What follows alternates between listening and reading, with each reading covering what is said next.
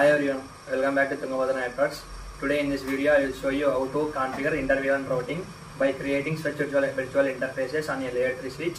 So this enable communication between different VLANs to communicate within the switch itself without needing external router.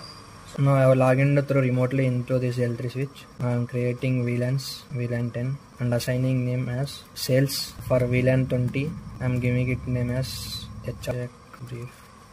Make this 6 and 7 as access ports. Switch port mode access. I am making this interface as access port. Switch port access VLAN 10. I am assigning this VLAN 10 to this interface and also for VLAN 20 slash 7. This port mode access switch port access for VLAN 20 I am assigning this 7 interface GI2 slash 0 slash 7 interface. Now we have to assign IP addresses for these VLANs. IP address 192.168.10.1 and the subnet mask is 255.0 no shutdown.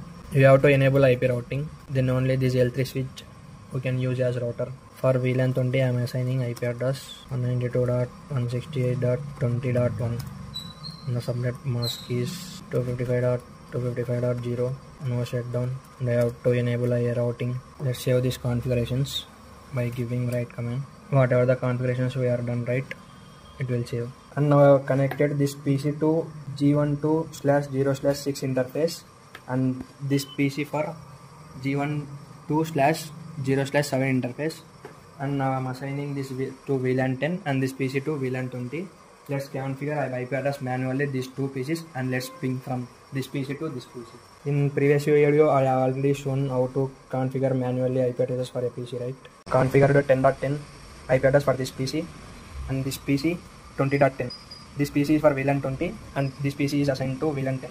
Now let's ping from this PC1 to PC2. First I am pinging from switch 192.168.20.1 it's successfully pinging for gateway. Now let's check for IP address, PC2's IP address. Now let's ping PC2's IP address.